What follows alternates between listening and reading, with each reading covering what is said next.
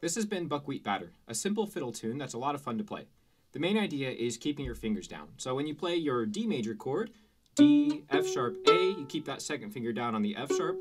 When you do your G major chord, D, G, B, you keep three and one on the D and the A string. You don't need to undo all your work. And when you do the A7 chord, A, C sharp, E, you want to have your first finger already set on both the G and the D strings.